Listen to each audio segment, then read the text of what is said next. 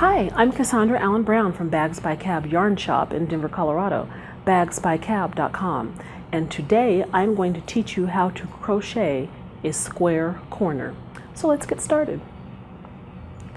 What I have done here is created a very basic small square out of single crochet in an acrylic yarn. And this will teach you how to crochet the corners so that they remain square.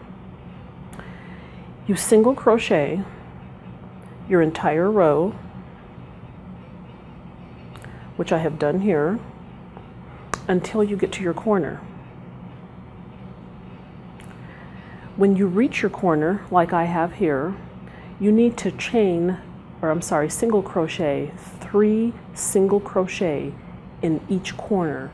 That maintains the square effect in your corner of your crochet. So there's one, two, three. Awesome. So then we'll just continue on down this row. We're going to evenly space our single crochet.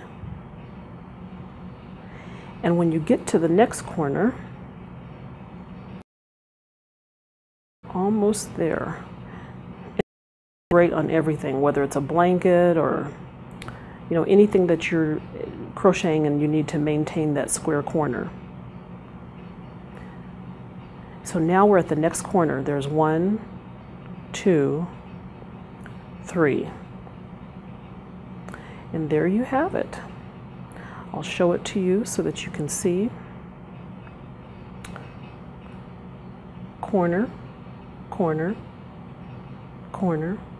And this would be the next corner when you square that up.